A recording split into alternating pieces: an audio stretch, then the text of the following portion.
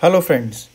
So we have another question on proving the trigonometric identity and this question is uh, 1 plus cot theta plus tan theta times sine theta minus cos theta is equal to secant square secant theta by cosecant square theta minus cosecant theta by secant square theta. Now again, so first thing to be understood here is what should be the approach to solve such problems okay so if you can see on a first glance on the right hand side if you can see it's nothing but 1 upon cosine cosecant square is sine square. Isn't it and secant theta this secant theta is 1 upon cos theta.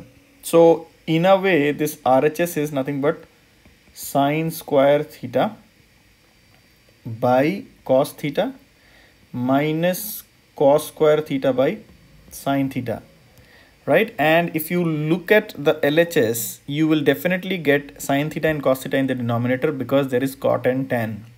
So hence the approach is to reduce cot and tan into sine into sine and cos terms. So hence when I write that though I can write 1 plus cot can be write, written as cos upon sine and tan can be written as sine upon cos isn't it? And the right fact the factor which is there in the second uh, position that is sine theta minus cos theta. This is that factor. Now what do I do is I take LCM in the second in the first factor. So hence it is sine theta cos theta is the LCM then the first when you uh, when multiplied by 1 the first term is sine theta times cos theta. Then since sine theta was already there so cos will become cos square and this will become sine square. The third term is sine square. Times sine theta minus cos theta which was there.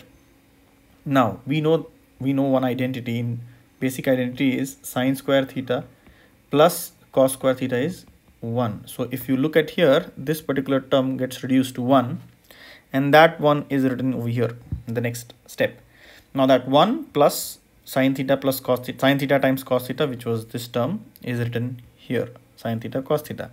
Divided by this sine theta cos theta is written over here. Sine theta cos theta right? And now we open up the bracket. Okay? So we multiply uh, the numerators. So if you multiply the numerators you'll get sine theta minus cos theta plus sine square cos theta minus sine theta cos square theta. You can do that. And divide by sine theta cos theta is there in the denominator. Now once you open this these two factors now what is the what is the catch? Catch is now don't club the alternate terms. That is whatever you multiply you don't club them again. Otherwise you'll get you'll go back to step the previous step right? Instead of that what i'm now going to do is i am clubbing this sine theta with this this term why? Because I can take sine common and you can see then you will be getting 1 minus cos square which will be equal to sine square. So I am moving towards the target.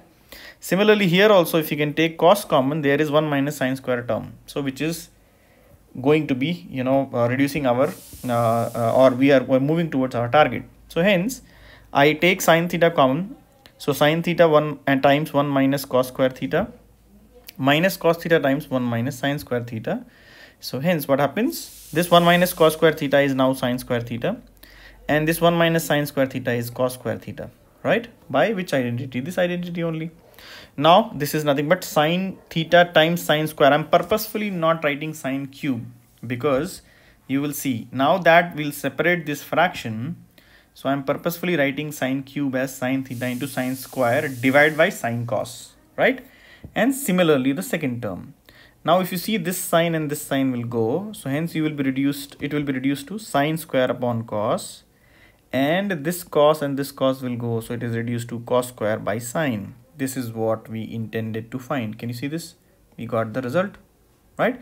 And then you can just uh, write in their reciprocal form. So this is sec secant theta upon cosecant square theta minus cosecant theta divided by secant square theta, which is the desired RHS. So hence we could prove this identity. So what was the learning?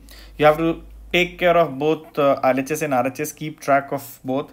Try to see from where you are starting and from where and to what point do you want to go to.